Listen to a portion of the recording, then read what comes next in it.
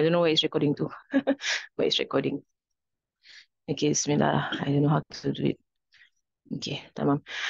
Uh, okay, Alhamdulillah, Alhamdulillah, Alhamdulillah. Uh, we're continuing with our with our book. So as I was mentioning this morning's uh, kalima, I share a little bit of what Habib Omar was saying this morning. So I was sharing every every Thursday morning, right before the khatam of the Quran, right, right after Al Latif, before the khatam, Habib has a short kalima.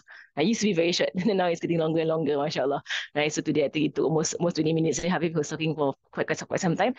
And he from the beginning of the kalima, he went into deep issues in regards to the Quran. And today's kalima was all about uh, bringing to life uh, bringing to life, right? So bringing the different aspects of a human being to life, right? And and um and it going around the how the surahs in the Quran right, brings a human being in every aspect to life, right? So he said that and he, and he explained the life of the heart, what is that? The life of the ruh, what is that? The life of the mind, what is that? The life of you know your your physical body, what, what is true life of your physical body, and then the life of you know the different aspects, different dimensions of the human being. How, what does it mean when it's brought to life you know mashallah mashallah. And and and um and he's mentioning also about about the, the different surahs and how the different surahs bring to life. And uh mashallah it was the whole the whole talk was about life you know of true life.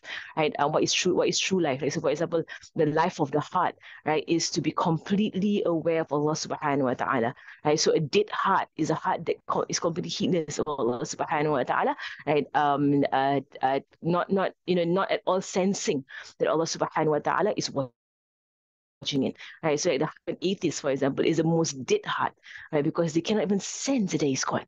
Uh, they can't even go into the go into the creation, into the wilderness, uh, into nature. They can't even feel that there is God. Right? It's a completely dead heart, right? For for for normal, you know, person, human being. I mean, for for natural human being, a natural human being in their fitra. If you go into nature, straight away you sense there is God straight away. No one has to tell you about the day is God. you go into the deserts, you go into the jungles, you go into the mountains, you go to anywhere, and even just look at the sky again. look at the sky, and you're like, confirm there is God. Right? It's not even not even a question, right? To ask, is there God? Right? But because their, their hearts are so dead, they can't even sense that God is there, you know, in their heart. They can't even feel it that He is existing. Then there are levels of the of the heart, lah, the, the, the living of the heart.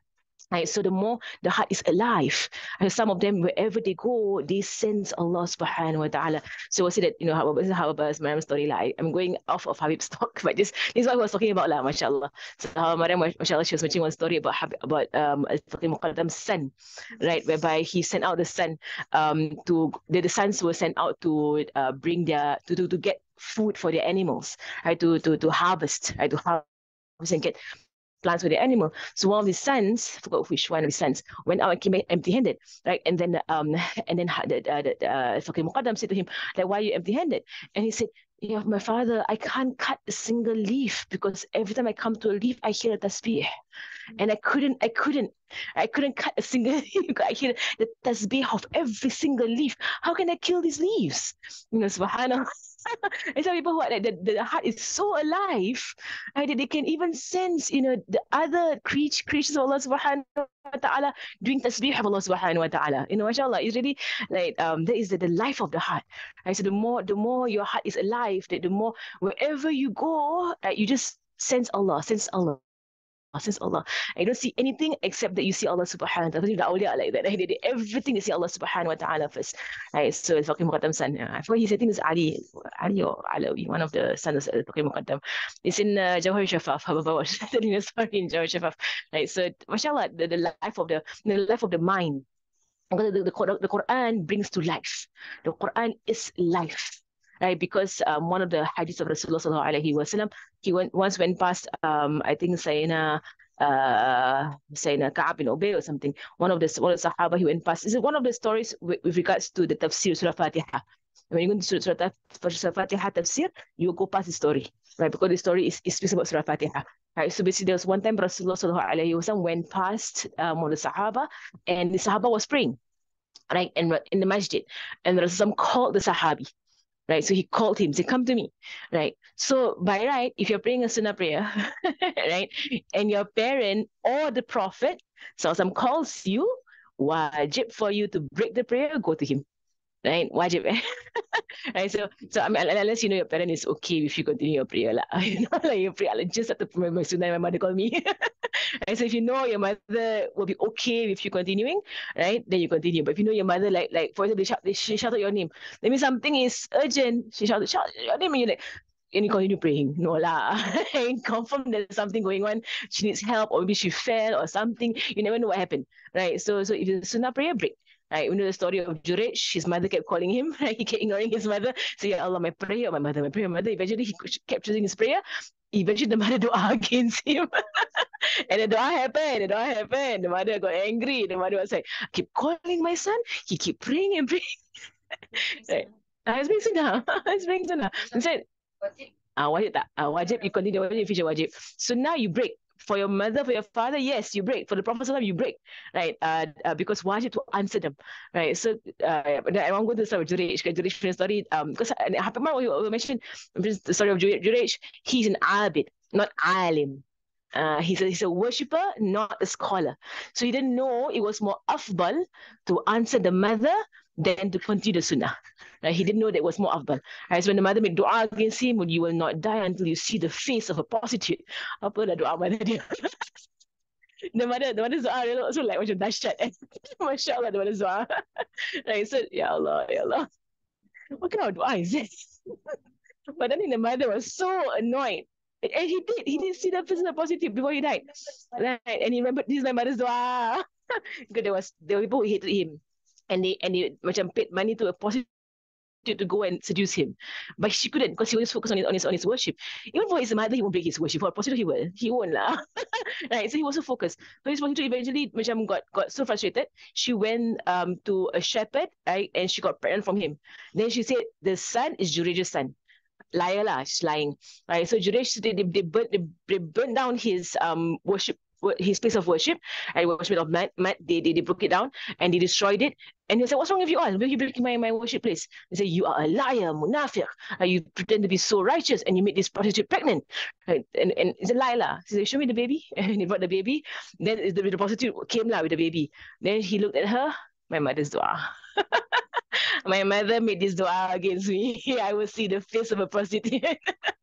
my mother, my mother's dua. Like he just poked the baby's stomach and asked the newborn baby, "Who's your father, boy?" and the baby, because he's a wali, and the baby was like the shepherd. Huh? right? Not me. it's a shepherd. Right? Uh, and then the, and the people said, "We were so sorry. You built you built your your worshipful place with um by with gold." Then he was like, "No, no, no, no. Just build it again with uh, mud and leave me alone, please." but then he knew my mother's dua. It's my mother's dua. right, so anyway, up at um Sila, where, where we go to there. right, but apa, um, uh, so Habib was mentioning about, I don't know what, what we were talking about. Sila. To do hard eh. Why are you going to Juraj, sorry? Susah apa? Oh yes, correct. Sila, the, the story, one story, go to another story, go to another story. No, this is how about this, mashallah. now I'm doing the same thing. Macam I remember trying to how about like, like she go from different, different stories. Within the story, she go to the story. No, but I was thinking to myself, she always says this. Uh. Then I'm like, the same thing. so I've heard, um, yeah, so, so some, there was a, there was a man who went past, also went past a man. He called the men, right? I think it was in a cabin, uh, uh, cabin, right? Um, and, and he was praying, but he finished his prayer. So after he finished prayer, he came to Rasulullah and some said to him, why did you come to me when I, when I, when I called you? Right? Have you not heard Allah's words? all you who believe in the Quran, all you who believe, um, uh, uh, respond to Allah and His Prophet when they call you to what brings you life. Right, this is ayah in the Quran. Eh? To what brings you life. Right, all you who believe, respond.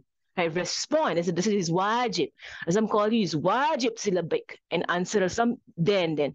They didn't have you not heard Allah's, you know, Allah's commandment in the Quran that uh, to respond to Allah and His Prophet when they call to what brings you life. Right. So he's saying the Sahabi, you should have broken your prayer. Uh, because Sahabi said, sorry, I was praying. Right. Then he responded in that ayat. Right. So the ayat says respond to what brings you life. There some said to the Sahabi, shall I not teach you of the greatest the greatest um, uh, surah in the Quran? Uh, so again, what brings you life? And so what brings you life? The surahs in the Quran. Well, shall I not tell you about the greatest surah in the Quran? And the Sahabi said, Yes, Rasulullah, of course, tell me. Tell me what is the greatest surah in the Quran.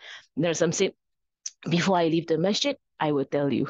Like he has his ways of teaching lah. So some um, dia ada suspense, right? And he, then he'll say something, then he'll leave it there for a while, then he'll go off, you know, like and it's to choose to see. You really want to know, you really want to know that. So he said, I will tell you before I leave the masjid. Okay? and then he stopped there. and then the Sahabi was waiting in the masjid, waiting, waiting, waiting. And then eventually Rasul got up and then he was going to go out. I think it was some time now, or some period of time. He was going to leave the um, the masjid and the Sahabi ran after Rasulullah. Said, the greatest surah, the greatest surah, you told me, you told me. You're going to tell me, you're going to tell me the, what is it, what is the greatest surah? Right? So I think it's like a test. Uh. You really want to know or not? Right? Going to watch me whenever I'm about to go out the masjid, go and chase me. if you really want to know. Right? If you forget to chase me, then okay, go. you know, mashallah. It's a way of teaching, eh? Mashallah. You tell a child, You want to know the story? Like before I before we go somewhere, you better ask me. You don't ask me, you don't get it. and the kind of thing like really, you know, mashallah, like it's, it's a very um it's a very strong tarbiyah going on. La. And and the Sahabi remembers. Like, because you because when you have desire for something, you remember it. Uh, you won't forget. Like, so, uh, so, so, so, so said to him, How do you what do you read in your prayer? And he says, Alhamdulillahi Rabbil Alameen. This is that one. That one is the surah in the Quran. Right? Surah Fatiha. This is, this is a story that by you, you you will come through when you go through Surah Fatiha tafsir. Uh, tafsir Surah Fatiha, you will find this story there. Right, so mashallah, um, um, and when you go to tafsir of the Quran, which is why I mentioned before, so that the Monday night jalsa right, is a must for everybody right, who follows Habib Umar right? Or who just wants their life to be, their hearts to be um, alive, right? Who wants to follow the way of Rasulullah the Monday night tafsir, the Monday night tafsir now it's translated into Malay, into English, right? Both are, both have Malay and English, right? And and of course Arabic Habib Umar speaks, right? So and when Wednesday, yes, uh, is it right? So I was waiting for it. I think they were having their their rihla, like their the Wednesday last Wednesday of uh Safar they were having their apa? Eh. Ah, they're having it like that's semalam kan. Yeah. So Wednesday also is related. So and Habib mentioned before those who leave tadi, right? Three things never let go. Monday night jalsa, Wednesday night ihya, right? And Thursday maulid. The kalima specifically of Habib Omar uh, three things. So all these three things are translated into Arabic and into English and Malay, right, for the benefit of all. So those who are in Tarim, even more, you should not be, you know, heedless of these three things that Habib pointed out to anyone who's leaving Tarim. If you can't follow his lessons, at least these three don't let go, right? And no excuse because all both all three are translated. you know, mashallah. Like the mashayikh, um, they're already on it lah, to, to translate the, the, the, the three. So mashallah, um, so the the uh so, so to what brings life to the, the, the Habib mentioned the this the Quran the law proves that the Quran is what brings you to life. So for example, the life of the mind. Uh, the life of the mind is the ability to tadabbur, right? the ability to ponder. So many human beings have dead minds, right? Because they are, I mean, of, of this of maksiat, like watching watching maksiat, like all these videos and, and games and computer games and whatever nonsense, right? They have dead minds. They cannot ponder anymore. They cannot ponder. Their mind cannot reach beyond just the surface of the words. They can't actually go into the ayat. So even if they sit there with the ayat and look at the ayat, they can't ponder they can't they can't pull out the, the deep secrets, you know, the, the, the lights, the meanings in these ayat. They cannot. Like some and, and we read of stories of awliya who can stand the whole night in prayer and just repeat one ayat. That is why they keep repeating and repeating and repeating the whole night in Salat with one ayat. Because why? Right? The, the mind is so alive that the mind keeps pulling out, you know, lessons after lessons after lessons after meanings after meanings after secrets and secrets and light and light and light and light and light, right? From this mind that is alive. Right, so macam um, the story of Imam Shafi'i is a very famous story of Imam Shafi'i, Imam Ahmad bin Hanbal, right, whereby Imam Shafi'i came and Shumal al-Khatib uh, quoted the story last week in his khutbah about uh, bringing up children. Right, that's the khutbah, mashallah. I still sebelum translate anything that khutbah, but still, it's so amazing, mashallah. The very, very famous story whereby Ahmad bin Hanbal um, had Imam Shafi'i over right um, to his house, and before Imam Shafi'i came, he told his um, his child, right, his, his his daughter, that my sheikh is coming, my sheikh is coming, and he is a great sheikh. And the daughter was like, "Who is this sheikh? My great, my my most beloved sheikh is coming." And he was he kept, he kept praising and praising and praising Imam Shafi'i. So daughter was like, "Okay, watch and see who is this sheikh," you know. And Jamal Khatib mentioned this story because of to teach our children to always husnul dhan with the ulama, right? To husnul dhan with the mashaykh, right? So, um, so this story happens that Imam Shafi'i came, right? And Imam Shafi'i, he ate a lot of food that night. Right, the, the dinner was served. Ate so much. The doctor was watching from the side. The doctor was like, was like, um, hmm, like what kind of alim eat so much food? like all judgmental, eh? like Suuzon judgmental, Allah alam. Like this one I've heard, I heard both ways, but I don't know which one is correct. I've heard whereby they say it was Imam Ahmad went to see Imam Shafi'i, and I've I heard whereby Imam Shafi'i went to see Imam Ahmad. Last week Imam Khatib quoted Imam Shafi'i went to see Imam Ahmad. Right, so I heard, I've heard both both narrations. Seems and it's story, but sometimes you must go and check where is the source of the story. Right? Who visited who? MashaAllah. But either way, they're all great, great alim. So the daughter was watching, and the daughter was like, This alim is eating so much food. Like, what is wrong with this alim? Alim not supposed to eat so much food. And they're supposed to, to be have zuhud? Like, he's like gorging all the food. Right? He's so judgmental. on. Like, and then she prepared the um pail right next to his bed right for him to take wudu right? And then, um, so in the morning, right, he, she saw the water was untouched. And somehow she was spying on him, and she saw that he did not um, get up from the bed the entire night, did not pray tahajjud. so I don't know why she was spying. Like, and this girl, so busy, busy body. I wish you want to see like, how great this person. Right? You know, so she was like spying, spying. And it's like he was on his bed the whole night. Did not get up from the bed at all the whole night. Right. And then Subuh got up went straight to the masjid with, with, with, with Imam Ahmad and salat. Right? Didn't take wudu. Possible. this is now this is weird lah. I mean, this wudu you should take, right? like, didn't even what was oh, astaghfirullah azim. So he went to her father. He's like, I don't know what's so amazing about your sheikh, right? But I saw three flaws about him. and his daughter, mashallah, Suzan, mashallah. right? The first, first thing I saw that he ate so much greedy, right? so much. It's not just the, the trait of a, of, a, of a righteous person or a scholar to eat so much. You don't eat like that, oh, oh father. Right? Your share is like that. Second thing, didn't wake up for tahajjud. I was watching him. Did not wake up at the Hajj. Astaghfirullahalazim. That thing was the worst. He went to pray subuh without wudu. hey, mashallah. Like, so he's like, he subuh without wudu. Subhanallah. And then Imam Ahmad wake up. He said, let's ask him. Okay, I'm very sure he has reasons for what he has done. This is basically the student having yaqeen in the sheikh. That whatever my sheikh does, I know he's doing something correct.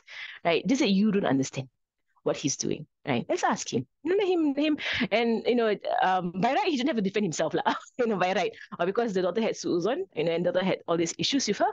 Okay, let's clarify. Right, and then to, to, to say something to clarify is good to prevent suuzon. Uh, so Rasulullah once he was talking with his, with his daughter, with his um, wife, Sophia. And she was talking with Sophia uh, in the in the night, in the dark, and she was covered. And there were two Sahabi walking in his way, and all of a sudden they all turned and walked the other way. Right, so much like something happened. So he called out. He says, wait, wait, wait. Right, and he starts he called out. He say, it's Sophia. It's Sophia. Don't think it's anyone else. It's just my wife, Sophia. And they were like, Ya Rasulullah, of course we won't think better of you right? Won't think some other woman. I mean, I mean, of course, he won't think better of you. But he said, Rasul said, but shaitan swims in the veins of human beings, right? So where you're able to stop a su'uzon, you stop it by explaining. Uh, what what just happened? So you don't su'uzon me, right? So there's actually a sunnah of of clarifying something to prevent a su'uzon. Uh, so because shaitan very quickly will whisper to people, oh, he's the prophet is talking to some woman in the night. He's his wife. no, inshallah. Right, so um so they call Imam Shafi'i. Say my daughter has three issues with you. You eat too much, you didn't pray tahajud, and you pray subuh without wudu. so um please explain to my daughter, right? What was what was it about? So Imam Shafi'i was like, who cooked the food last night? And Imam Ahmad said, My daughter, she cooked the food. And Imam Shafi'i said, she was reciting Quran, wasn't she? And then the daughter said, yes, I was. I was doing a khatam. and they do khatam in one meal. Eh? and they baca they cook one lunch, one dinner, they do one khatam. I said she was doing she was reading the Quran, right? The doctor said, Yes, I was doing Quran during when I was cooking the meal. And he said the Quran entered the meal. Uh, the Quran entered the meal. From my first bite, I can sense right there is barakah in this food. Right? So I ate as I to my fill because of the barakah in the food. And you can see that this the, so the, the effect of the Quran, the life of the Quran, entered the food and brought Imam Shafi'i to life right? His mind came to life, his heart came to, means a higher level. He's really macam Imam mashallah lah. He's really, really macam full of life. So now his mind became very high in life. That he said, after all that food I ate, from the barakah of the food I ate, when I lay down on my bed, my mind could not stop, you know, pulling out mas'ala, mas'ala, mas'ala, mas'ala, mas'ala from one hadith. So the whole night, my mind that was now brought so, so to so much life so much life in the mind. My mind, if one mas'ala or one hadith, and the hadith was, Ya Abu Umair, ma fa'ala nughair. It was that hadith.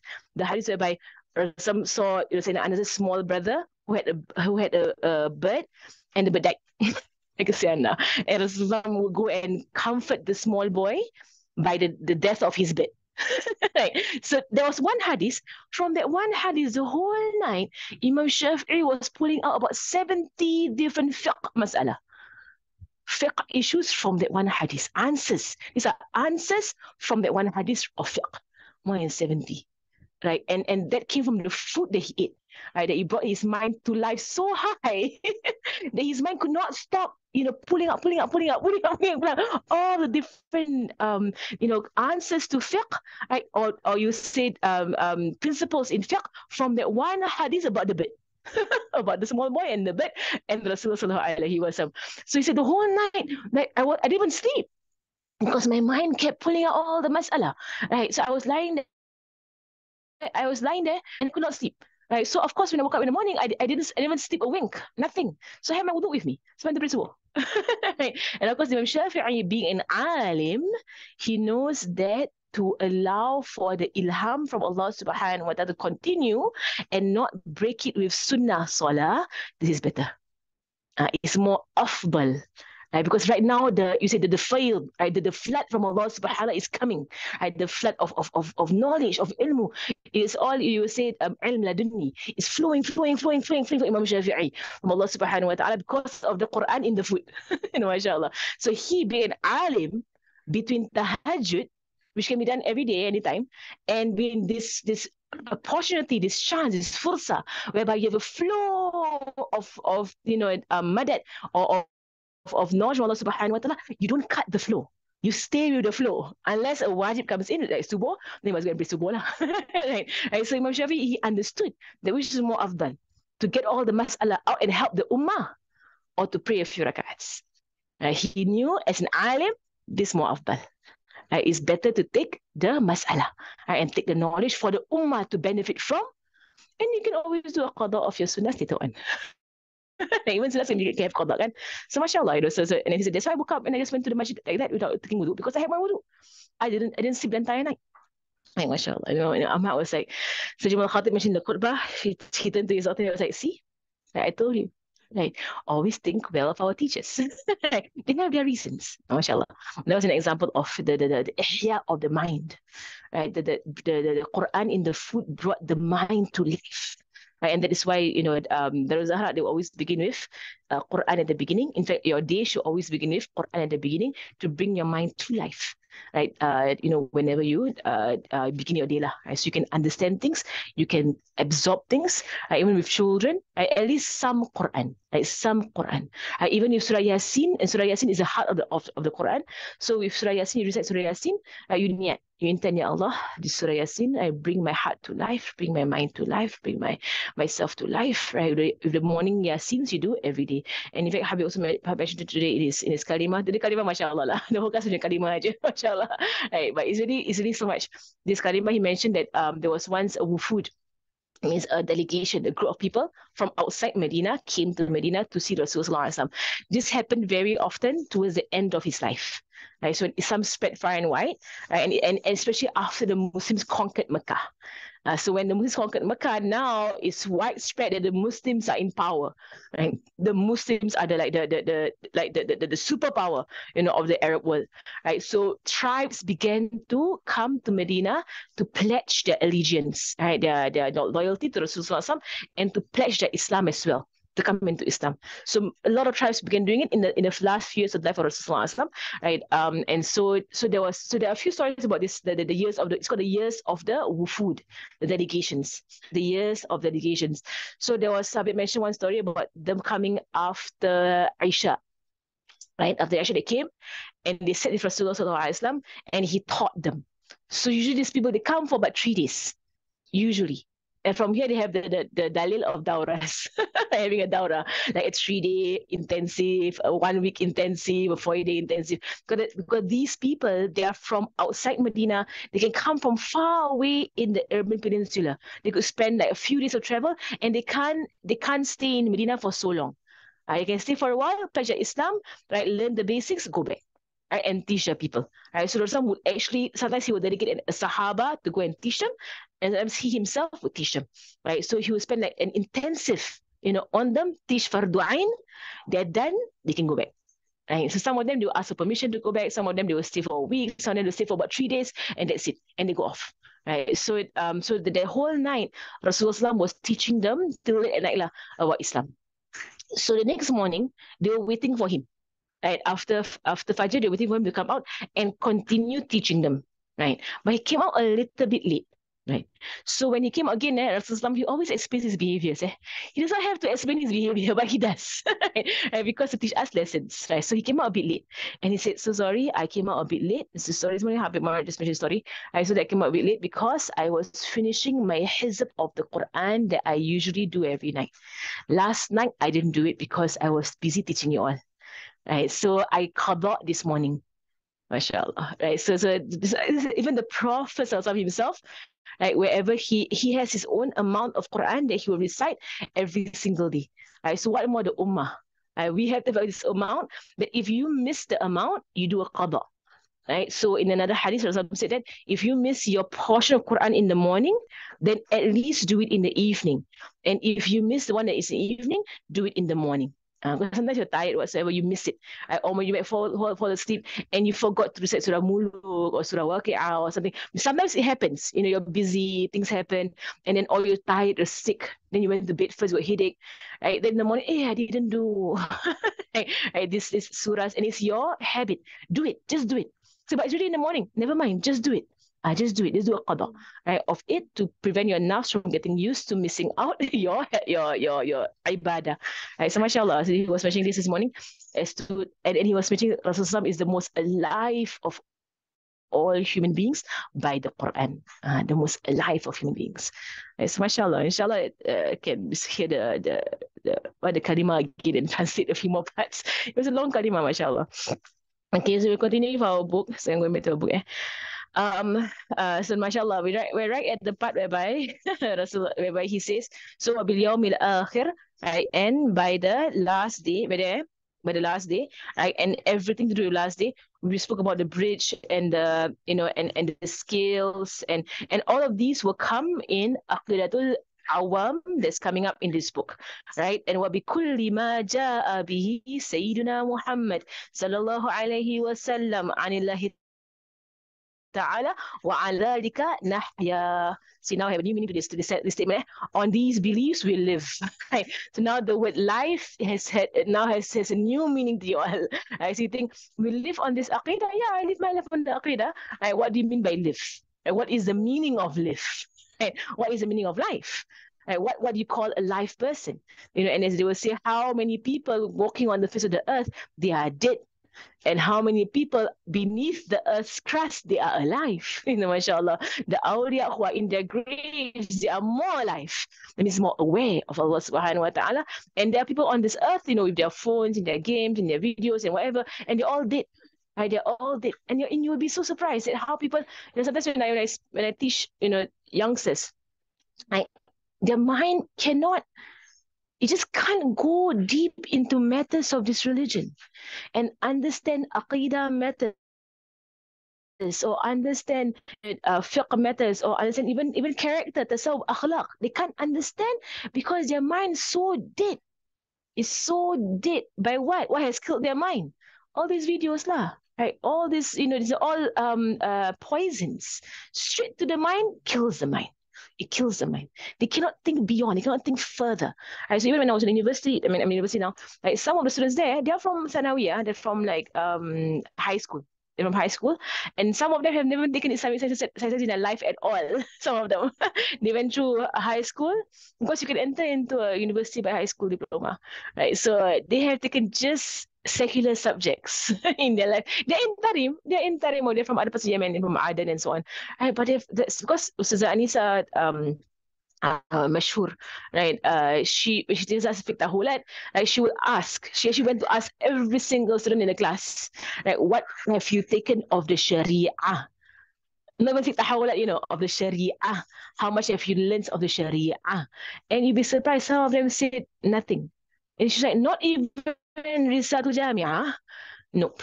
Not last. Not even not even the smallest, smallest book. You know, like Suluk Muri, not even like like something something basit, something very simple. Not even that. Says nope. And she's like, and you live in Tarim?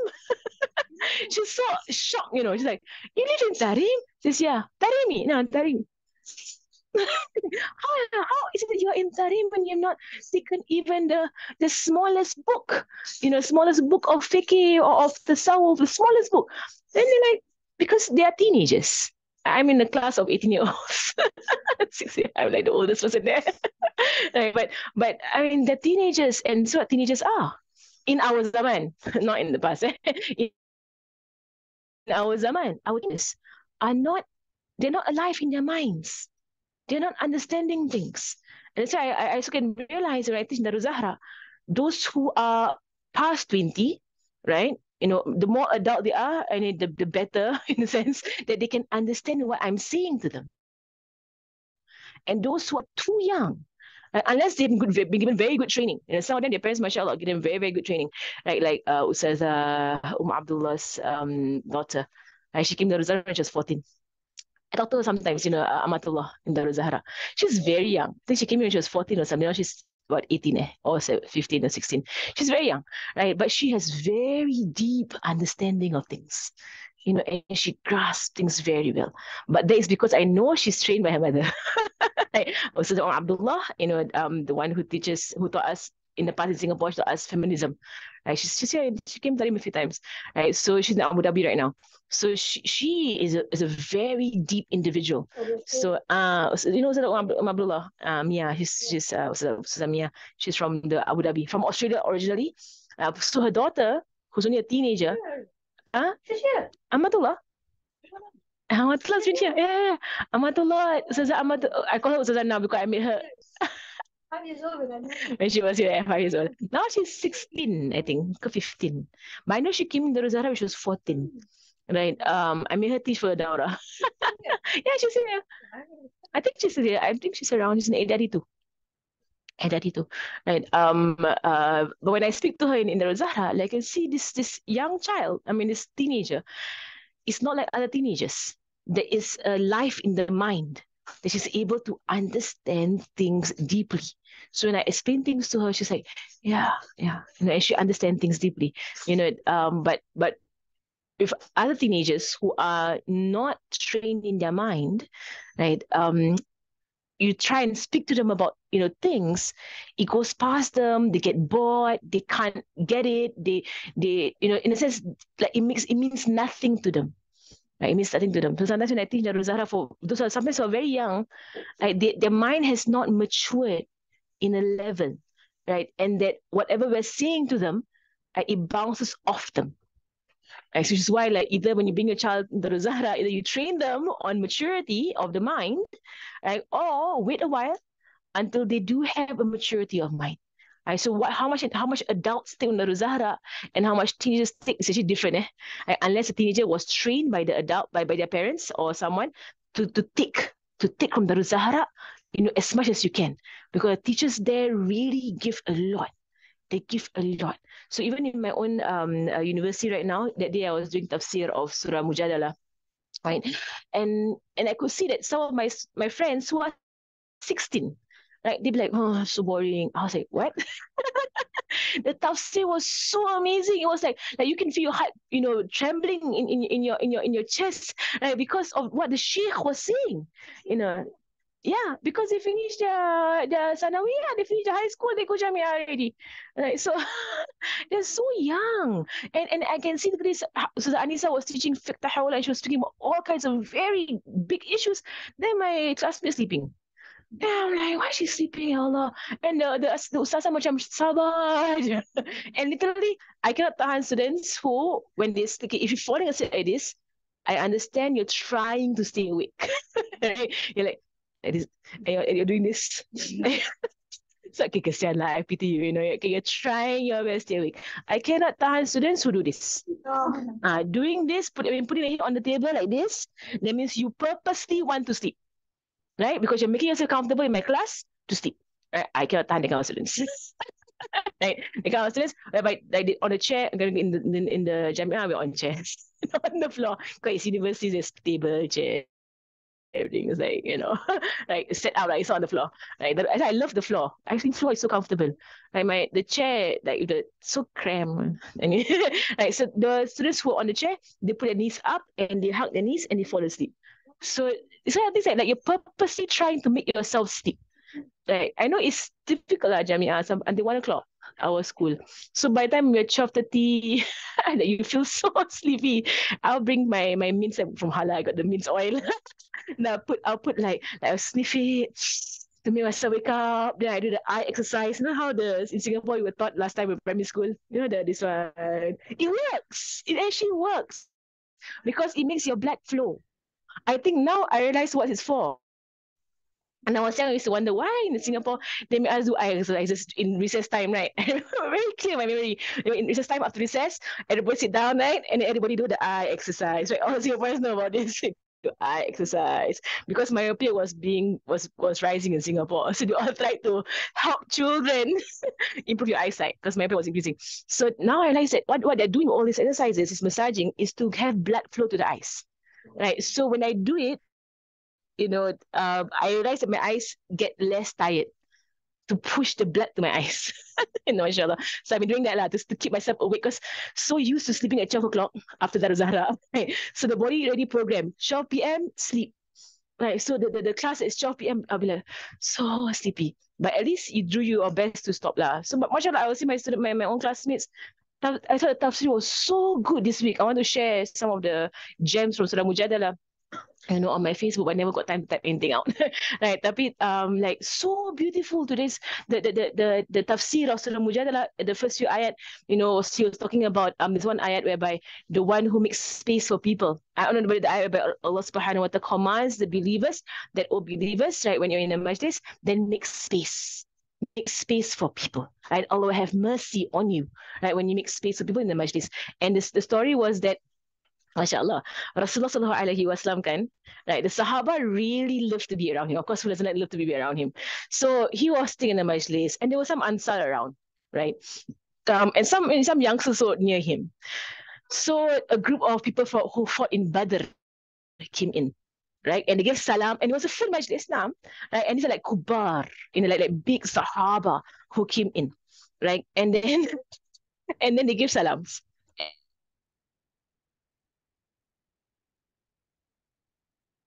they seem to be like like like chopping their place, like reserving their spot. Okay, I came first. like I'm gonna be in front of the Prophet So it became and some saw what was going on. Nah. There was this selfishness that was going on, but over goodness. But there was a type of selfishness going on that you know what? They were like, know, my space, my space. you know, right? So Rasulullah, you know, to um he he and this were like elderly uh, elderly Sahaba who are the first few to Islam, they have an, a, a level for themselves that you should taqdim them. Like bring them, you know, um, to the front, that kind of thing, you know, that, that how the people here they always do. The Habaib, whenever they see anybody of position or people of age, is age or alim, right, they will always taqdim. They come see us here, here, see here, here. You know, they will, they will give them the space, right? So Rasulullah sallallahu alaihi wasallam, right? Um, he began to say to he began to say to people, you move over there. you move over there. You he began to, to, to arrange people. To arrange, and he could see or he could see on their faces some macam dislike on the faces of these people. They were upset about it. This is just as Babu of the, of the ayat that I was sitting in my jamia. These are things that that really is so beautiful. It's something from the from the ayat, and you learn this. Right? And you move there. And so their feels all became like, I'm like, but they still move lah, you know, they still moved, you know, because um, it's, it's instruction from Rasulullah that he called one of the biggest Sahaba, come sit here, and you sit here, you sit here, right? So he began to open, to, to really make space in the majlis. And then he saw again, some his sunnah lah, eh? his sunnah, sunnah, sunnah. His sunnah is to try to comfort people when they are upset. So by right, they should not be upset in the first place. Because yeah, is Rasulullah he's doing what he's doing, he knows what he's doing, right? But he saw in their faces, you know, there's some any right, unhappiness in the face. So he began to explain himself. See? Mashallah. Always, he will always do this. He will explain himself. He doesn't have to. Does not have to. They should souls on they should souls on him. I have a good opinion of him, but he will always do that. Rasulullah, because it's a sunnah to do that, to try and remove unhappy emotions in people. He try his best to do that. Right? So he said, um, the one who makes space for others in the majlis, may Allah forgive him. Right? He made that dua. Everybody happy already. Get the dua. Then from there, they always make space. When they come, come, come, come, come, come. You know, like, like they say, come sit here. Don't sit in front of me. Don't sit here. They won't even like, like, like try to, to, to, to, to hog the place and like, don't make space. Uh, you must go and tell your children, eh? who makes space for other people right? Don't try and like, take up as much space as you can, you know, inshallah And you get, you get, you know, mashallah, um, the mercy of Allah subhanahu wa ta'ala as you consider others, to make space for others, to allow for people to attend the majlis, to open up, right, to be as um, inclusive as possible. That is And that is the Prophet sallallahu alaihi wasallam. He was never exclusive. You cannot find a single time in his in his sirah whereby he was exclusive some people, you know, can get the khair, others cannot get the khair. You know, he was he was inclusive. Sallallahu alayhi wa sallam. Now, ولكل ما جاء به أن سيدنا محمد صلى الله عليه وسلم عن الله تعالى. So everything has come to us from our beloved, beloved Prophet صلى الله عليه وسلم from Allah subhanahu wa ta'ala. And what has come to us are from him صلى الله عليه وسلم basically the Quran, his hadith, his sunnah, right? Um, you have his uh, prophecies, right? The, what he will tell us that will happen in the future, right? You have things about the akhirah, sama'iyat. Right, so these are things whereby you hear from our Prophet and basically we make this this general statement in our Aqidah, in Laqul Mujmala, right, to cover all. So whatever Nabi Sallallahu Alaihi Wasallam said, we believe in it. Ah, uh, so the Bakhus Mini Jumalan, Walad Talibni Bit tafsir as a part of our aqidah. Not not here, but another aqidah. Every maghrib they will recite. فَخُذْ مِنِّي جُمَلًا وَلَا تُطَلِّبْنِي بِالتَّفْصِيلِ Which means, Ya Allah, take me entirely. That means take my aqidah entirely. I believe in all right, that the Prophet has brought. And don't ask me about specific things. right? I, I don't check my aqidah about specific things. Because maybe some parts of the aqidah you might not answer properly or whatever. Or maybe your mind is not, is not, is not, is not um, reach it, don't ask me about it.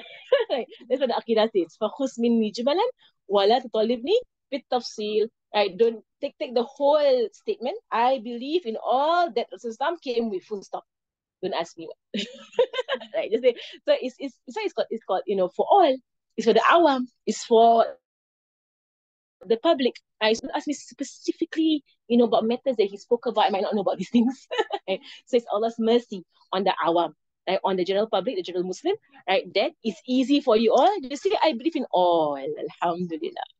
Right, don't ask me on the day of judgment about specific matters of this akidah. okay, I take for me all. Then with with tafsir. Um, right now, right. Uh, so inshallah, this one will there be more to speak about. So for the example of his of, of his statements about the future, right? So about the future, there is one of the studies in fiqh right, about the future, right? That you must believe in what he said, that it, it is true, it will happen. Like it is true, it will happen, right? So people, like, if, and I, I wouldn't say this, people denying, right, that we are right now in a I'm not sure who does that, but is there, if there is someone who's denying that we are in akhir zaman right now, then that is um, going against the words of Rasulullah sallallahu alaihi where he said, "Bu'istu ana wasa'a kahatin." Right? Um, I was sent, me as a prophet, and the hour like this too. And he placed his his pointer finger and his middle finger together. Right? So this tells us that already in his zaman, akhir zaman, like his zaman, akhir zaman. So those who deny that right now when akhir zaman, where are you? Right? What are you thinking? and those who deny.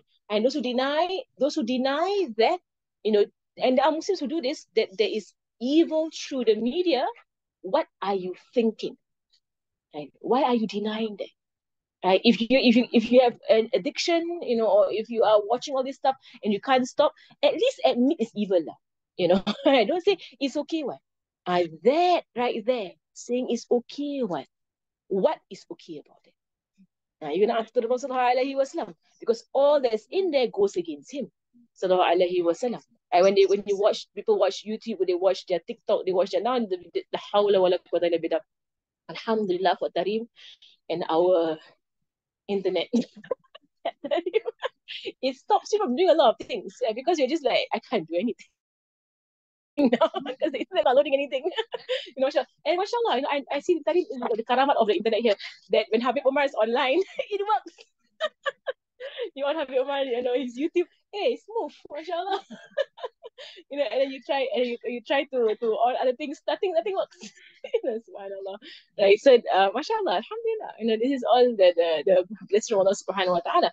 Right. So so what he has informed us, right? What he has informed us, right? That we take it fully, we believe in it, right? We do not, you know, brush it aside. Right. So that's what we mean by whatever he came with, sallallahu alaihi wasallam, and there were many things that he came with right? Like how he would say um, that in the future, the munkar, sahaba, how will it be? I think was saying Ibn Mas'ud, how will it, was saying Abu Dharr al-Ghafari, how will it be when you witness a time, and he did witness a time, whereby people will command to evil and they will stop goodness. How will it be? Right, when you come into a time where people are commanding to munkar. So instead of Amr bil Ma'aruf, it's Amr bil Munkar. And instead of nahi anil munkar, is nahi anil ma'aruf. Right, this is his prophecy. Eh? There will come a time people will be doing this. Right, they will command to goodness, and they will command to evil, and they will forbid goodness. And in fact, you see, it will come a point whereby marriage between male and female is seen as something despicable. There will come a time. So scary. I don't want to see that time. like whereby male and female marriage it seemed to be low and like, you know, how in the like the whole thing flipped. Something so so natural and so so good. I don't come as a zaman. I don't. We don't see the zaman. I don't want to see the zaman whereby people to to marry naturally. Right, people look down on you. The, the male and female are getting married. I know me. But this zaman will come. And we're learning all these hadiths, all these hadiths like so many things he's saying, sallallahu alaihi wasallam, they will happen. Right? They will happen. And that is why, that is why he will give the solution, right? To say that never be okay with it. There is a least you can do. Never, if you cannot stop it, right? If you cannot be strong in your in your iman and your and your um, amal and everything, you cannot be strong, then at least never be okay in your heart with it. Never be okay. Don't allow yourself to say it's normal. Never allow yourself, don't even embrace the culture like some of the Muslims online, I've seen them, and I've spoken to them as well on my on the my safe space. They, they they have embraced the culture of the of the pronouns, but he still was like, what pronouns? you know what's going on right now in the world, right? You know what's going on in the pronouns, right? Um, female is he, she, she and her, right? Male is he and him. So we know it's normal. Many people you call them they, right? In in in in um, English, uh, genderless um thing like a cup is called it. Right um a cat they don't know its gender is called it unless you know its gender is female lah, they call it she lah, right? So now they have they, they, they have declared there are there is no such thing as gender and some of them declare they are non-binary which means they are not male nor female. And some of them declare this from the muslim side The Muslims declare that this is like the angels. So it's like the angels. Right? The angels are not male nor female. We are like angels. we're like amoeba, no male nor female. got angel, amoeba sudah. right? You know, amoeba got no male or female, okay? Amoebas, they, they, they, they reproduce, reproduce by splitting. Mashallah. Like, they're like angels. I saw one, one, one book, it's quite a popular book about this, this kind of individuals. Lah. She re tafsir the Quran herself. Oh, la hawla wa la quwwata illa billah. And said that she's like Allah. Allah is not male and female. So there is more divine to be no gender. Wala hawla wa la It's so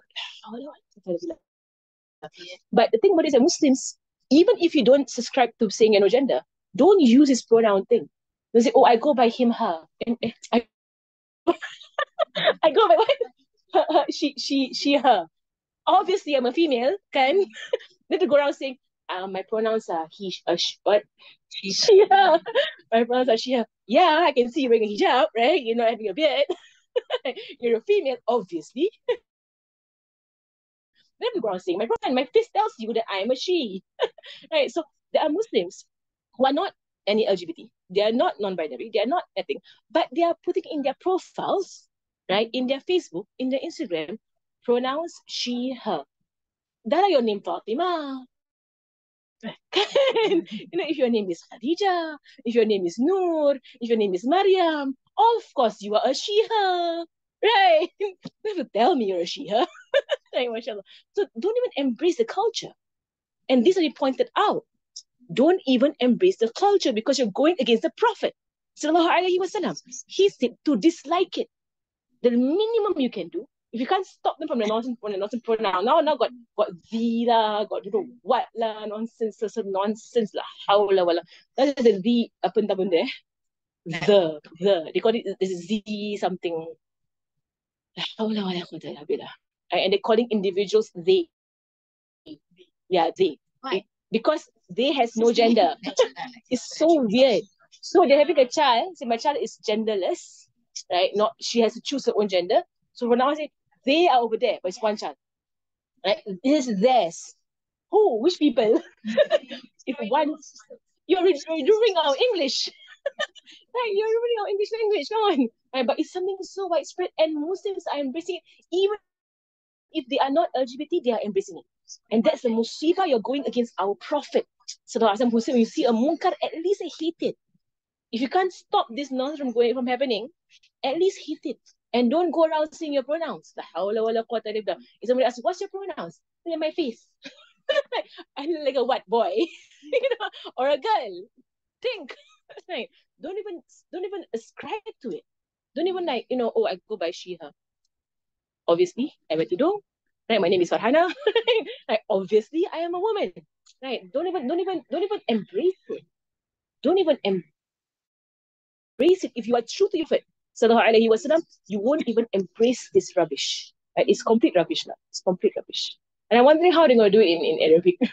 because Arabic has a community now, right? That's growing in um they call it the Najd, right? Dubai, Yani, uh, uh, Abu Dhabi, I think, uh, where else? All these places lah. The LGBT community is growing amongst the Muslims. Right, so I wonder how the Arabs do it eh? Because they have anta, anti, antuma, antum. Maybe they go with antuma lah. And they're going to destroy the Arabic language uh, by trying to, because in Arabic they so it. Actually, why can't use it? Because it's it lah. I call you it because it is too low. Eh? Like it is over there, my son. It is it. like, it is genderless. What use it lah. We already have an, uh, a pronoun in, in English that is genderless. It's called it, but that for animals, you know, or for like you know non. You know, just so basically, whatever our system came with, to not fight it, right? and to not go against it, and to be aware in your zaman, what is of our culture goes against our Prophet. So and I'll point out very clear things, wasting time. Right? It's in our culture, the, the, the, culture of wasting time watching nonsense goes against our Prophet Wasallam directly. It goes against him. Can you find any example in his life where he wasted time? Ever, eh? Abadan, eh?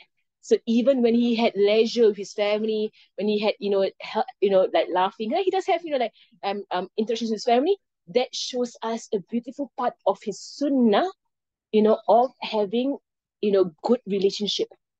So he does have fun, Sallallahu Alaihi Wasallam. They do like watch, you know, the Abyssinians, you know, um, doing a display. Uh, they, they have their, their camels, you know, racing. Healthy fun. That is sunnah for Sallallahu Sitting down, the wasting time watching my Ma'asiyat with your eyes, right? Where have you seen Nabi Sallallahu do that? Ever. Right, ever. See, there's no TV in time, yes. But they had they had they had Ma'asiyat. In his zaman, they would put the woman dancing. I mean, amongst the, the kuffar, I mean, they will have all this ma'asiyat going on. You will find no example of them sitting down, lepa, you know, hanging around and just watching all this ma'asiyat. Right? And then Muslims now they say that no, it's family time. Let's watch ma'asiyat. I mean, basically that's what it is. Why is what movies? Ma'asiyat. Right? Sin. It's all around sin. Movies, most movies, I mean, I would say almost all, everything, because it makes you forget Allah subhanahu wa ta'ala. Right? Does he do anything in his day whereby he encourages the, the forgetting of Allah subhanahu wa ta'ala? Or bil aks? That is the opposite. Everything he does, even in his joking around with his wives, is all remembrance. Even in his mizah, his joking with the Sahaba, it is all truthful and remembrance of Allah subhanahu wa ta'ala. You know, and subhanAllah. Alright, so, so this is the example of Rasulullah. So this is the first thing in the culture of our time. Look around you and see what not that has that our Prophet has come with. Right? And stay away from that. What he has come with right? So even even in our culture, and I want to point out all these things to online as well, right? Our culture of going to theme parks, right? Going to play roller coaster. I don't know why Singapore has a what what, what is it called? Universal Studio. Studio. Yes. Think about it. All the money spent and the queuing up and the time wasted. And what are you teaching your children in doing this? You want to have family time? Go to the beach. Lah. Singapore beach, alhamdulillah, still okay. Singapore beach, I think for me, lah, but I mean, still no one going around naked, no one going around. You can find parts in our beach, but it's still clean of any nonsense, any swimsuit whatever. You can still find. I oh, go Malaysia lah. You don't want to go Singapore beaches, go Malaysia beaches.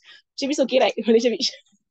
Everybody is like covered. They're wearing, they're, they're wearing um Depends where you are. the thing is like, yes, like why people uh, I cannot trust them. If they're around uh, so go by the Malays, uh, go go to the go to the waterfalls. They're all swimming in t-shirts. they're not even they're not even changed into any swimsuit, like it's all like t-shirt and I think Singapore, Malaysia waterfalls. I went about how was I not once before the you know, Singapore, the Malaysian waterfalls. It's nice. Like go lah trekking with your family. Do something healthy. Like with the family. You know, um, you don't have to go to place of mass you know, and these are where, where you know there's la'na there. Because there's ma'asiyah, there's la'na. In these places, and you're going to bring your children there for what? Right? This is all culture of our zaman. People are okaying it. It's not okay. It is not okay. Because will you find our prophet there? No, you won't. He's not going to be there. Right? So seek out the majalis, seek out the the, the mawalid, seek out and now the messages the messages that they're doing things that they're trying to make it um you know um entertaining for children so they have maulis and stuff like that. They're trying to make it more fun. Right? To have acting, to have like acting out sirah and everything. There's effort being put in to try and attract the children to righteous things, to love what is righteous. And that's the way of our Prophet Sallallahu and quite ready. So we'll stop here for today, inshallah. وصلى الله على سيدنا محمد وعلى آله وصحبه وسلم والحمد لله رب العالمين آمين ما شاء الله someone said that they found a book so when be careful the books your children read. Mm. So in this book, they change the pronoun of a female she into a they. This is so confusing. If I'm reading a book and the whole time reading they, they, they, I'm thinking there's a group of people going on. like, and suddenly you find the story, it's a person. like, so, I mean, Subhanallah.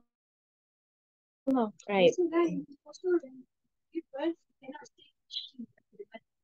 Cannot ah, say she. La hawla wala. Dia sorry mom. Gave us uh, a dawra for the when 2019 when she came. I was pregnant. He said now in in the hospital in America, don't refer to the mother's she. I was like, and no more pink for girls, blue for boys. Yeah, now they just yeah, I I've seen that. I was like, you know what? Alhamdulillah, when I gave birth my kids, there was no such thing back in those days. 2011. Yeah, yeah. It doesn't teach you to give dawra for the pregnant. They, No more she. Do not refer to the mothers Yeah. she. so, you, so for us as Muslims, even if you don't, you're not part of that group, don't take their nonsense and apply it to yourself. Because I see Muslims put it on their social media, he slash um him, like or she slash her. Don't even do that. Uh, because you're, tr- you're kind of like saying, oh, I agree with this, you know, pronoun assignment thing. right? No, Allah gave me my gender. Full stop. You know, I'm not gonna choose my gender. Allah gave me my gender. Subhanallah. But don't even don't even embrace it. Don't even say it's okay. Right? Even the non-Muslims are fighting it. Eh? When they are fighting this nonsense, right? The non-Muslims are fighting it. Right? But then, of course, it's the Dajjalic one. Uh, Khala Fatiha.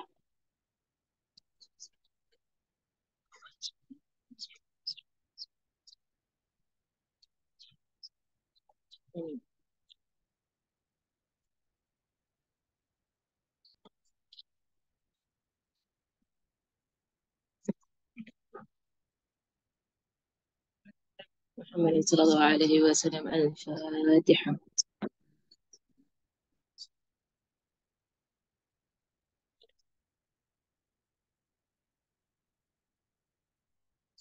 سبحانك اللهم وبحمدك أشهد أن لا إله إلا أنت أستغفرك وأتوب إليك. صلى الله على سيدنا محمد وعلى آله وصحبه وسلم والحمد لله رب العالمين.